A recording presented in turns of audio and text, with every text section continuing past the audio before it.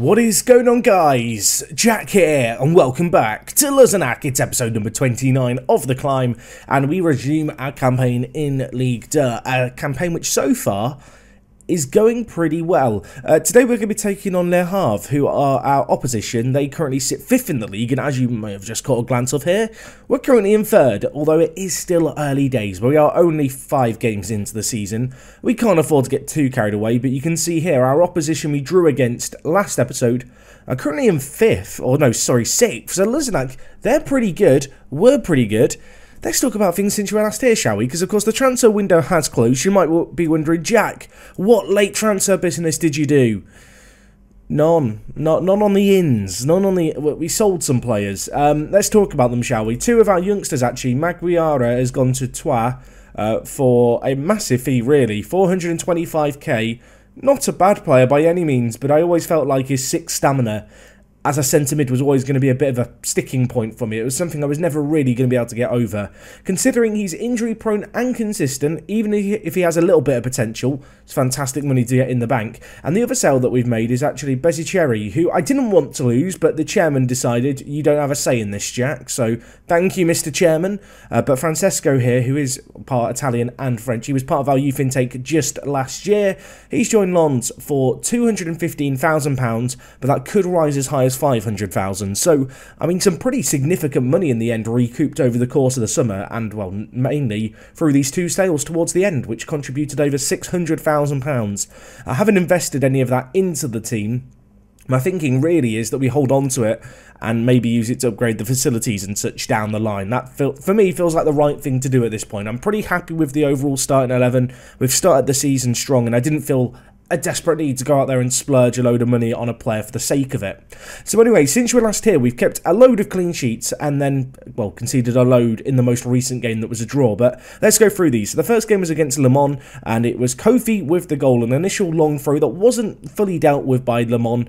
And of course, against a team who were promoted with us last year, we took the lead late on Kofi with the goal, and there was no time to fight back. The next game we had was against Châteauroux, uh, a team who are long established in League 2, and in this game, Luis Carlos got a goal at the back post against a team who are very much predicted to finish mid-table. And following on from that, after, you know, one cross, uh, well, in came in a corner in the added time, and Garreau was there for it. Of course, the player who we brought in to be the successor, potentially, maybe, probably, to Hugo Robert. And to be fair, so far, a goal and an assist for the centre-back. So I guess he is channeling his inner Robert of sorts, but um, no, he's done well. He's not developed that much, although it's still early day. It's September, we can't expect improvement overnight. But yeah, good performance from him there. And we followed up with another win, this time against Cannes. At home, a 1-0 victory in this one, a really good result. And we also broke our attendance record, 2,800 fans flocking to attend. A really, really good turnout. Cyprian David with the goal. A player who, I think more and more I have to just kind of put faith in. A player who I don't feel like I've ever really given a fair chance. I can't tell you why I dislike him. It's not that I dislike him either, really. It's just that there's always been players higher in the pecking order, but he's pecked his way up to the top. And uh, well, this season he certainly won't be having to wait until February for future league appearances. He is very much part of the first team in terms of how often he's playing. Anyway, most recently we took on Niort, a team who we were promoted with, and having beaten a few of the long-established League 2 teams, I really looked at this one as a very winnable game, even if it was away from home. In the end, it finished 2-2. Uh, Luis Carlos got us a goal very similar to the one he got a couple of games prior. Ball crossed in from a corner, bounced to him at the back post. Kofi then got a really nice finish for us, put us 2-0 up. After 24 minutes, you think we're on for a really good result. Unfortunately, that two-goal lead did not last. They scored in the 31st minute, Niort, to make it 2-1. And from there, we kind of hung on. I made a triple sub in the 81st minute, and just as you thought, well, the job's done, Papon turned up, squeezed it in at the near post, made it 2-2. And, uh, well, not only was our run of clean sheets gone with this result, but our kind of little winning run that we've been stringing together as well. That said, you know, away from home against Niort, it's not a game I'm going to... I don't want to say I'm not going to lose sleep over it, because, frankly, they've not won a game yet this year. But it's certainly a game that we should be expecting ourselves to win. But you know what? Sometimes it doesn't go that way. And uh, right now we are performing above and beyond expectations. As you can see, we currently sit in third. We are one of only two teams unbeaten after five. Today we take on Havre, who I've already mentioned. They're very good. Um, they've uh, won their first three games. The only team that they've lost to so far was Cannes, although we beat Cannes, you might remember, 1-0. So despite the fact that we have played Le Mans and Niort and beaten them, and you kind of look at them, or rather drawn against Niort, but you look at them as games where perhaps they were easier points to acquire. The fact that we have got some points against the likes of Châteauroux, who have only lost two, and also against Cannes, means that we are holding our own against the big boys. And well, you might be wondering, Jack, how are you holding it against the big boys? I'll tell you how we're holding it. In kind of typical fashion, there's no, there's nothing fancy about it. There is, there's nothing fan. It is just the way that we've been playing. You can see here, just looking at the overall number of appearances I have uh, been kind of rotating the team around a little bit, but uh, at the same time, it is a fairly settled 11 at this point. It's also dawned on me here that I've set up the, I've kind of selected the preset kind of team selection from last season, and it's kind of unearthed just how much has changed this year. So many new faces coming in, um, but you can see here, just looking at the team on the whole, this is the the team that has largely played for us, which might strike you as a little bit of a surprise, I suppose, in some areas. Um, I feel like Fomba just didn't really hit the ground while running. I was very, very excited about him, but he's not found his feet right away which I don't want to say it's a concern, but it's something that obviously we have to keep an eye on. With that happening, what's happened is Luis Carlos has come in. You've seen he scored two goals already, teaching him the, the art, I suppose, of playing defensive midfielder. So far, he's putting some good performances for us, the Brazilian. Hopefully, he's going to continue to put them in and be in the right place at the right time for goals.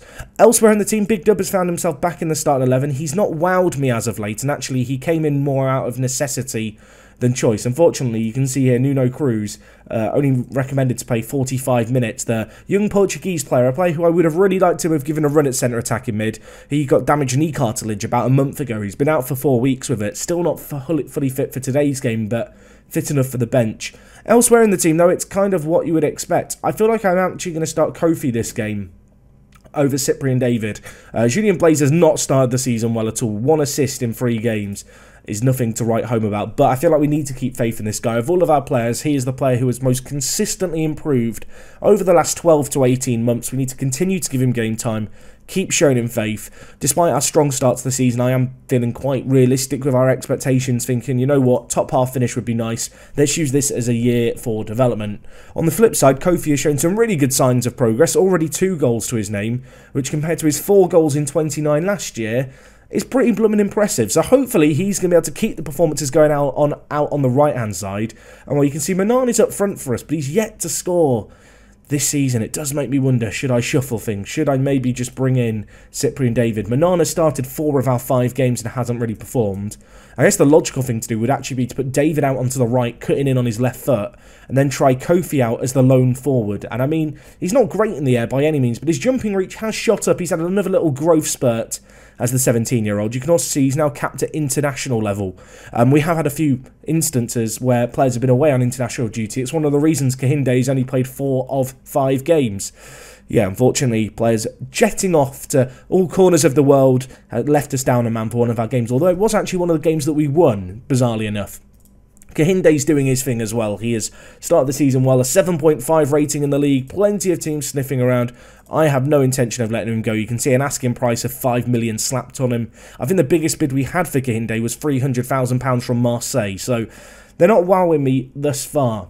Anyway, defensively, Halhau and Garreau have started the season pretty well. Billingy on the right, no assists for him yet. Out on the left, Russo obviously was suspended. When he was out, we brought in NDIA who, to be fair, despite declining a little bit as a player, actually putting some pretty good performances in the league. I mean, you can see here a 7.03. Um, that said, he is a bit of a step down from Russo just in the direct head-to-head -head comparison. And I need to keep faith with Lucas because I think he is the best left back in the team. Hopefully, he doesn't get sent off today for a second live com in a row. That would be pretty well, tilting, to be honest. And, uh, well, let's get into this game, shall we? I've not felt a need to change away from this formation. Um, of course, we were looking at signing Engessen, and if we'd signed another centre mid, I perhaps would have been more inclined to maybe explore the strikerless route, but actually the way things have played out with Fomba um, just not starting the season particularly well, and also we'd be deciding that spending a load of our wage budget, in fact making Engessen our biggest earner to sit potentially on the bench some weeks, wasn't the best investment, and cancelling that deal. Um, now kind of I'm back on the four two three one hype train. I'm all about this train right now. This is this is the train that we're on. I've, I've bought my ticket. The four two three one I think is here to stay, at least for now. Obviously Manon there's only, well, he hasn't scored in four games and he's meant to be our lone striker. Kofi, of course, has been chipping in with goals. And while speaking of the devil, picking up the ball in a great position, unfortunately, Zinger makes a huge stopping goal for Havre. Really bails them out there. In the first minute, they are absolutely bottling it at the back, trying to play it around. Can we score here? Big dub straight to Zinger's hands again. I mean, it was a chance, wasn't it? Kofi, he's already got a few goals to his name. He has been doing some really, really good stuff. It is worth noting that today's kickoff is the early kickoff. A win here, and we would go top, although we will continue onwards to see how the rest of the results play out. Unfortunately, with our ongoing ground share, we have found ourselves playing later on than a lot of other teams. And I'm someone, and maybe this is just me, I don't like to chase. I don't like to be the team hunting down another team. I'd much rather be setting a high benchmark, and even if they've got the game in hand and you know with a win they can go above us, I'd much rather be in that position where you're kind of setting the bar and asking the other teams how high do you want to jump, how high are you going to need to jump. But maybe that maybe that's just me. I know everyone's a, everyone has a different opinion on that. Let me know comment section. Also, comments are good for the YouTube algorithm, so I don't care if you're on your phone, watching this at work, on the sly under your desk, or on your TV in the living room. I know it's a pain in the ass to type on the YouTube TV app. Let, let me know, are you a chaser or a leader? Do you want to be chasing down the team or leading the pack to the death? Anyway, it's nil-nil here. Both teams having chances. They did have just the best chance of the game there. Um, despite the fact we've kept clean sheets, I'll be honest, it's not been super comfortable games. A couple of 1-0s, a 2-0 as well. And then, of course, the draw most recently. And, uh, well, that was a crunching tackle by Hal Hal, and it was a bit too crunching. In fact, it was Billingy tripping him from behind. Billingy, you absolute wazzock! Another fullback letting us down in a live com. Can Thomas help us out? Not with a penalty like that, he can't. That was an absolute peach of a penalty. Marvin Gapka placing it into the bottom corner, giving Havre the lead. And, uh, well, look at it. Just slides it in. I mean, you're not stopping that, are you, as a keeper? You're just not stopping that. Lovely goal by him. His first of the season. Their first shot on target. And I think with that, we have to get a little bit shouty shouty. I don't want to overreact just yet. But considering we are playing a possession-orientated system, the fact that we've only got 39% of the ball perhaps is a small cause for concern. But that said, we've been creating chances and they've not created a ton. We are on the attack here as well. Luis Carlos dinking the ball wide to Billingy. This is your redemption arc, Billingy. Whips in. Big dub with the header. Big dub with his first goal of the season. Yet to get an assist. Yet to get a goal going into this. If Cruz was fit, he probably comes in the young Portuguese player to play the centre attacking mid role, but he doesn't. He's not fit. He can only play 45 minutes. So Big Dub is there, and it's Big Dub with his slab of a forehead. Not an unfamiliar sight to the Luzenac faithful to watch him head in a goal. The centre attacking mid, he's absolutely loving it. And suddenly, you look at the, the match stats, you look at the scoreline, it just looks like a really good first half where hopefully we can take our lead and take this grip that we have on the game and, well, uh, execute a win, which, based on the number of chances we're having, you would expect us to at this point. Anyway, I'm going to make an early change here, which might seem a little unorthodox.